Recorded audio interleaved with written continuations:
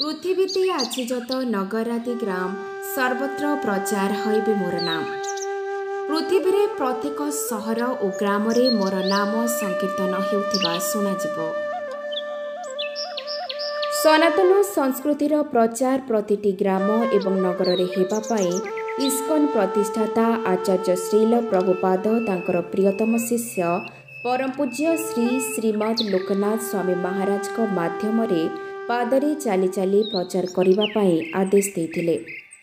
ଏବଂ ପରମ ପୂଜ୍ୟ ଲୋକନାଥ ସ୍ୱାମୀ ମହାରାଜଙ୍କ ପ୍ରେରଣା ଏବଂ ନିର୍ଦ୍ଦେଶ ଅନୁସାରେ କୋଡ଼ିଏ ଜଣ ଭକ୍ତଙ୍କ ଦ୍ୱାରା ଶ୍ରୀ ଚୈତନ୍ୟ ମହାପ୍ରଭୁଙ୍କ ଜନ୍ମସ୍ଥାନ ଶ୍ରୀଧାମ ମାୟାପୁର ନବଦ୍ୱୀପଠାରୁ ଶ୍ରୀକ୍ଷେତ୍ର ପୁରୀ ଧାମରେ ମହାପ୍ରଭୁ ଶ୍ରୀ ଜଗନ୍ନାଥଙ୍କ ଆଶୀର୍ବାଦ ପ୍ରାପ୍ତ ହୋଇ ଏହି ସଂକୀର୍ତ୍ତନ ପଦଯାତ୍ରା ଓଡ଼ିଶା ଏବଂ ପଶ୍ଚିମବଙ୍ଗ ମଧ୍ୟରେ ଶ୍ରୀ ଶ୍ରୀ ନିତାଇ ଗୌରସୁନ୍ଦରଙ୍କ ବିଗ୍ରହ ସହିତ ଭକ୍ତମାନେ ବଳଦ ରଥ ସହ ଚାଲି ଚାଲି ଭଗବାନ ଶ୍ରୀକୃଷ୍ଣଙ୍କ ମୁଖ ନିଃସୃତ ବାଣୀ ଶ୍ରୀମଦ୍ ଭାଗବତ ଗୀତା ଦିବ୍ୟ ହରିନାମ ସଂକୀର୍ତ୍ତନ ପ୍ରସାଦ ବିତରଣ ପ୍ରବଚନ ଇତ୍ୟାଦି ମାଧ୍ୟମରେ ଜନସମାଜରେ ଆଧ୍ୟାତ୍ମିକ ସଂସ୍କାର ଏବଂ ଶିକ୍ଷା ଆଣିବା ପାଇଁ ସଫଳତାପୂର୍ବକ ପ୍ରଚାର କରିଆସୁଛନ୍ତି ଏବଂ ଆଗକୁ ମଧ୍ୟ ଏହିପରି ଭାବରେ ଚାଲିବ।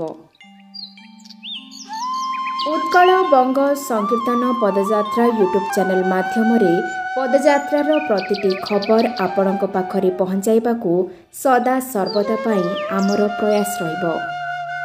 ଆମ ସହିତ ଏମିତି ଯୋଡ଼ି ରହିବା ପାଇଁ ଏବଂ ପଦଯାତ୍ରାର ପ୍ରତ୍ୟେକଟି ଖବର ପାଇବା ପାଇଁ ଉତ୍କଳ ବଙ୍ଗ ସଂକୀର୍ତ୍ତନ ପଦଯାତ୍ରା ୟୁଟ୍ୟୁବ୍ ଚ୍ୟାନେଲକୁ ସବସ୍କ୍ରାଇବ୍ କରନ୍ତୁ ଏବଂ ପାଖରେ ଥିବା ବେଲ୍ ଆଇକନ୍କୁ ପ୍ରେସ୍ କରିଦିଅନ୍ତୁ। Thanks for watching. Hari Krishna.